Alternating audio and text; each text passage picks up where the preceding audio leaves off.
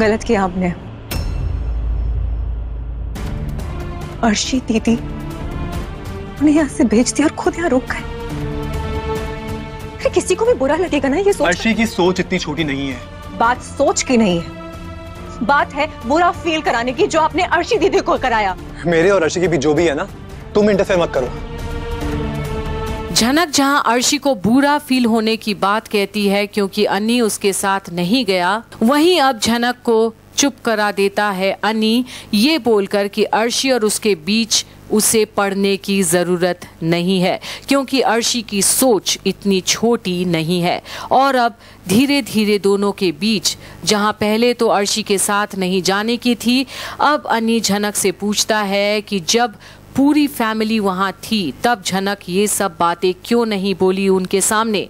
पर झनक अनी को ही पूछती है कि क्या उनका परिवार उसे बोलने भी देता है कभी? और अब जब अनी उससे पूछता है कि वो ये सब क्यों बोल रही है तो अब झनक गुस्से से कहती है कि उसे अपना गुस्सा निकालना है, क्योंकि वो बहुत परेशान हो गई है। और जहाँ अन्नी को ये लगता है कि झनक अपनों के बीच आ गई, इसलिए ऐसा बिहेव कर रही है, क्योंकि अब उसे अन्नी की ज़रूरत नहीं है शायद। पर अब झनक बोलती है कि अन्नी अपने हदे पार कर रहा है। बार बार वो भी उसके लिए, जिससे खुशी नहीं मिलती, ये सबसे। पर अब अनी बोलता है कि वो ये सब उसकी खुशी के लिए नहीं कर रहा है। बस अपनी कुछ रिस्पॉन्सिबिलिटीज़ हैं, उसकी जो वो निभा कर वहाँ से चले जाएगा। पर एक बार फिर अन्नी और झनक के बीच अर्शी को लेकर बहस हो ही जाती है। और अब अन्नी झनक को मतलबी बुलाता है और बोलता है कि अन्नी ने ये सब झनक पर तरस खाकर किया है।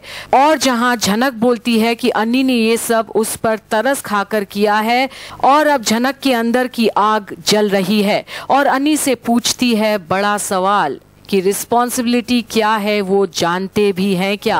अगर जानते तो एक लड़की की मांग पढ़ने के बाद बार बार शादी को नकली नहीं बताते आप। चाहे जैसी भी थी। शादी हुई थी हमारी। पंडित जी के सामने भी आप यही बोलते रहे। हाँ जानती हूँ। मैंने भी वही बोला। पर क्या आपने कभी जानने की कोशिश की है कि मेरे दिल में क्या है? ये ज़िम्मेदारी उठाने की बात आपको सूट नहीं करती, सर जी। और मन ही मन में अपने आप को देती है जवाब। जो वो अन्नी को कभी बता नहीं सकती। पर अन्नी अब झनक को बोलता है कि एक बार उसकी एग्ज़ाम्स खत्म हो जाएगा तो वो वापस कभी नहीं आएगा उसके पास। सोचूँगा झनक, क्योंकि तुम्हें एक लाइफ पार्टनर चाहिए। कोई ऐसा जो तुम्हारा ख्याल रख सके। और राहुल से बेहतर कौन होगा तुम्हारे लिए?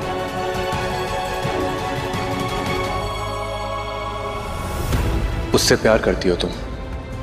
और अगर तुम दोनों यहीं रुके तो तेजस तुम्हें चैन से जीने नहीं देगा। मैं चाहता हूँ तुम दोनों खुश रहो, और इसमें मेरा कोई फ़ायदा नहीं है।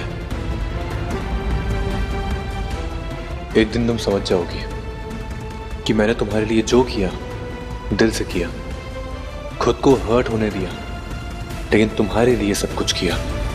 पर चौंका देती है झनक। उसे अपना जवाब देकर। अब आगे क्या होगा? झनक और अनिरुद्ध के बीच देखते रहिए, ये दूरियाँ आखिर क्या वाकई आ रहा है? दोनों के बीच या दोनों लेकर आ रहे हैं दूरियाँ अपने बीच। देखते रहिए झनक की अपडेट्स यही कंप्लीट बॉलीवुड पर। अरे, क्योंकि गुस्सा निकाला है मुझे। परेशान हो गई हूँ मैं, सर जी। परेशान? जी हाँ परेशान। बहुत बहुत बहुत परेशान। जाना तुम भूल रही हो तुम किससे बात कर रही हो? अपनी जगह अपने लोगों के बीच आ गई हो इसलिए अब तुम्हें मेरी ज़रूरत नहीं है ना? आपको जो सोचना है सोचिए।